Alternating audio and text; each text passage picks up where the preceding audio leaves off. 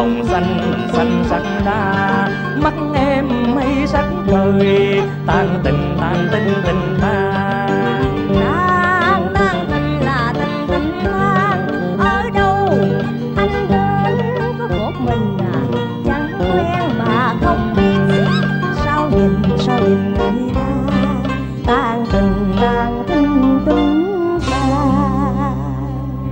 Cô em ơi anh đâu dám đi ngang về tắt mà không hỏi chủ.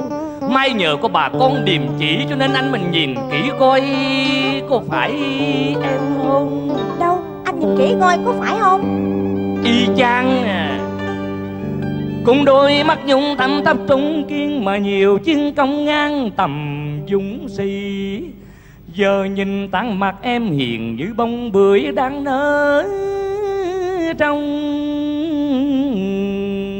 vườn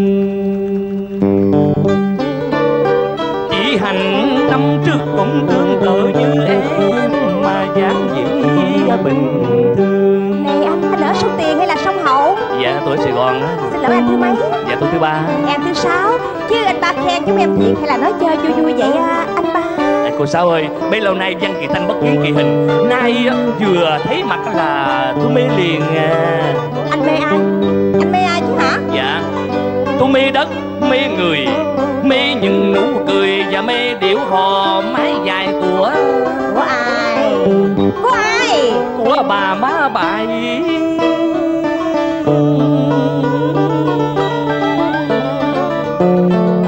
Xin lỗi anh ba nghe tại đàn bà con gái tụi em cứ hỏi thiệt tình vậy đó anh ba Tôi thì bụng sao miệng nói rằng vậy à Mà cô thì cứ từ buổi cãi Cô sải qua buổi cà hoài à.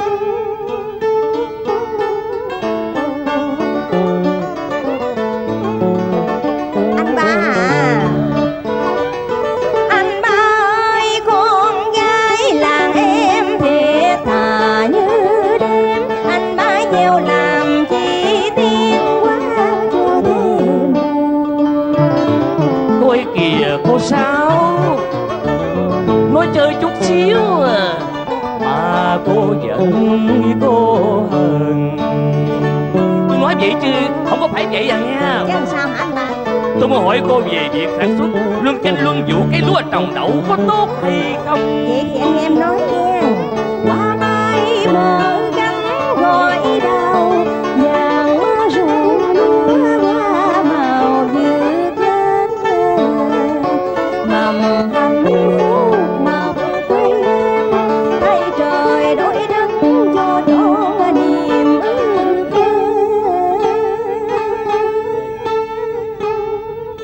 Cô Sáu à, Cô nói chuyện nghe hay quá à.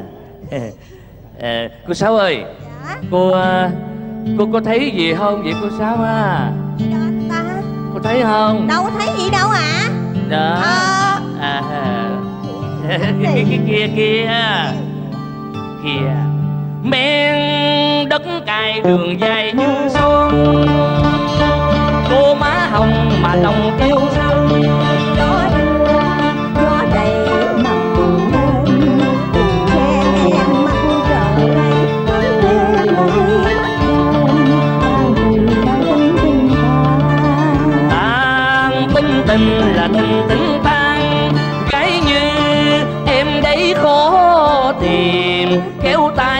mà chăm bón Theo duyên theo duyên đời xanh Tan tình tan tình tình tan anh ba ơi anh đừng khen em má mà má em bả rầy bả quơ Trời đất ơi Khen chứ chế sao mới quở? Gặp anh đây giữa đường giữa ngõ anh hỏi mà không nói thì sợ anh bảo con nhỏ hay làm lè?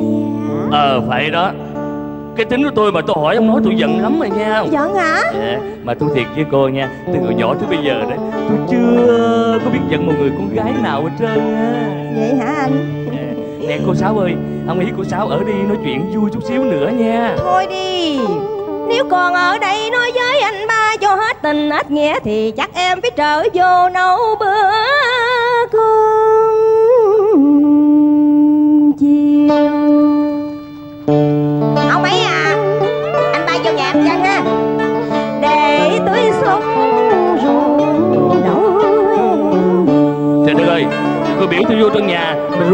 già Bà hỏi tôi đi đâu Rồi tôi biết ừ, ăn nói làm sao đi cô Sáu chứ không lẽ em trở vô nhà tiết kiệm với anh ba chị hết buổi sáng này hay sao? Tôi, tôi tính như vậy nha.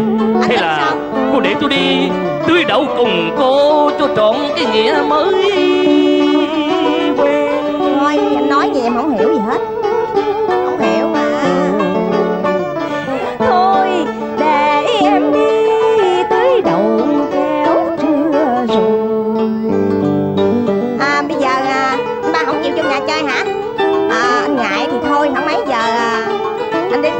anh chơi mình ha.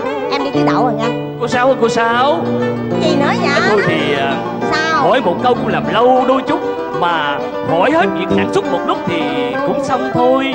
Thiệt mà cô Sáu đi không được đâu. Má em bà la chết đó nha. Má em bà khó lắm à. Ruộng em em làm chuyện em em hiểu. Ở đây mà nói chuyện với anh ba hoài đó nghe. Chắc là đâu cà dưa chết heo hết anh ba ơi. Rồi đây, bà con sẽ chê cười, là em bỏ qua màu chết khô, vì lo đứng nói chuyện với trai cả buổi.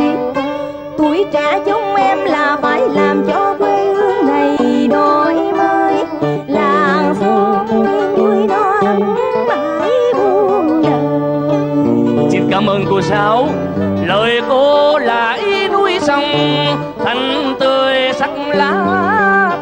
trong lòng người. Nhà nông thiệt lắm anh ba ơi nghĩ sao nói vậy?